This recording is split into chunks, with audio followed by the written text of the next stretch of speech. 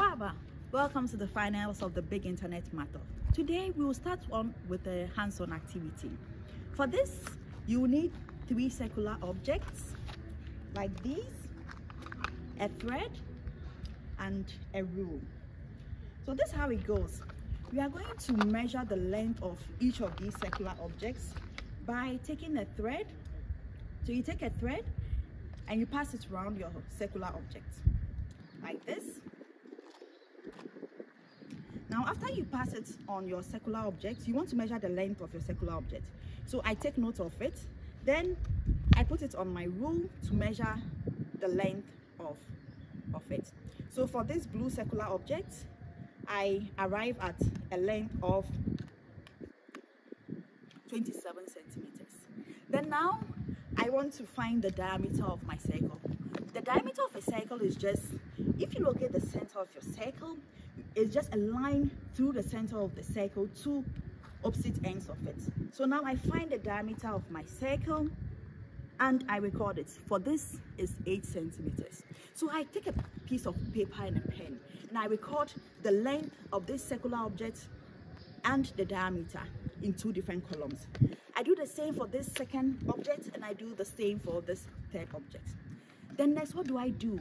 I find the ratio of the length of these circular objects to the diameter. What do you observe after this? You'd observe that irrespective of the sizes of your circular objects, the ratio is constant. That's what we call the number pi. Imagine being taught about the circumference of a circle using a hands-on activity like this. You wouldn't have to memorize the formula for it, but you remember that, okay, math is very practical. The title of my page for today is Math Motivation. Math motivation coming from the interesting topics that we'll see in maths, but also a motivation to pursue careers that have a strong mathematics background, which will be rewarded for you. Now let's move on to the area of a circle. We, we, we were able to get that the length or the circumference of a circle is 2 pi r. So imagine that we, we, we, we dismantle the circle into a triangle like the video you're seeing.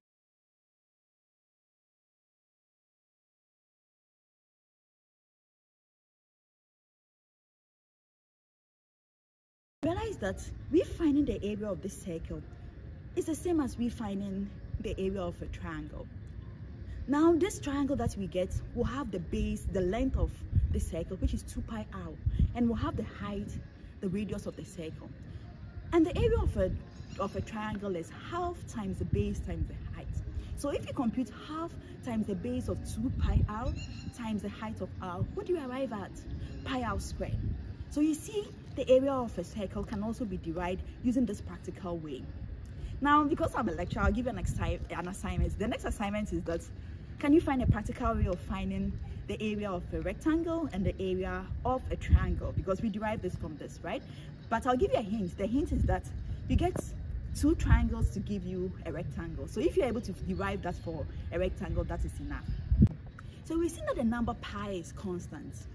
Now, if we look at the first 144 digits of the number pi, and we add these digits, we arrive at the number 666 which most scholars call the mark of the beast. So you see, that's one interesting fact about the number pi. But in one of my pages, I talked about prime numbers. A prime number is a number which you can only write as the, um, the product of one and itself.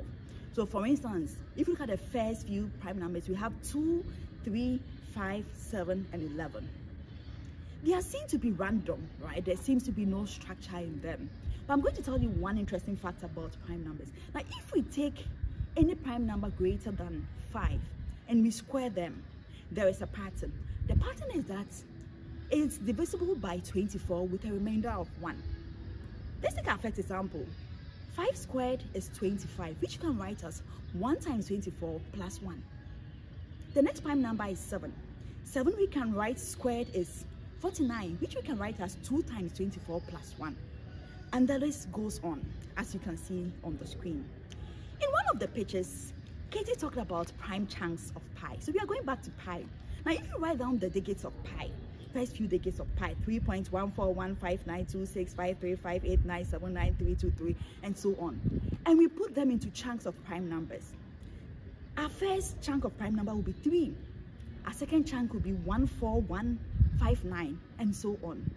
Now let's test this this theorem or principle there. Now if we square the number 15159, we arrive at 200,477,281. And that is divisible by 24 with a remainder of 1. How? 14159 squared is the same as 8,353,220 times 24 plus 1. So you see, even though prime numbers appear to be random, they aren't actually random. We go to our third interesting fact. Now let's say we want to find a sequence of numbers where I give the first two numbers, 1 and 1. You get your next number by adding the, the previous two numbers. So if I add 1 to 1, I get 2. If I add 1 to 2, I get 3, and so on. So our sequence becomes 1, 1, 2, 3, 5, 8, and so on. This sequence is called a Fibonacci sequence. So if we divide a number by the number preceding it, so 1 divided by 1, 2 divided by 1, 3 divided by 1, and so on, we realize that we are getting to a number 1.6. This number is called the golden ratio. Let's consider one of the pictures by my fellow finalist, Matt where golden rectangles were introduced. With this sequence of numbers 1, 1, 2, 3, 5, 8, we can form golden rectangles like this. Then with that, if the length of one side of your rectangle is a plus b and the width is a, then the ratio of a plus b to a is the same as a divided by b. And this is what the number we call phi, which is the golden ratio. So we've seen that Fibonacci sequence that we gave has this golden ratio. Why should we care about golden ratio? They actually appear in our body. So imagine that you take the length from the top of your head to your sole and you divide it by the length from the top of your head to your navel. You actually get the golden ratio 1.6. Similarly, if we take the length from your nose to the center of your lips to the ratio with your the, the length from the middle of your lips to your chin you also get the golden ratio. Why should we care about this? It's something that cosmetic surgeons use when they are reconstructing your face or even some body parts. So for instance when you consider your arm you also have the golden ratio by taking what the length of your arm to this. That also gives you the golden ratio. In conclusion i'll say this. You've seen a lot of interesting facts in the big internet math off. Why should we care about them? We should care about them because they are going to help you to find jobs which have mathematics as its background. Not just jobs, but well-paid jobs. So consider jobs like being a research software engineer, a data, a data scientist, a sound engineer, even an accountant. All these involve mathematics. So your love for maths translates into some economic benefits. Vote for me if you found my pitch very interesting.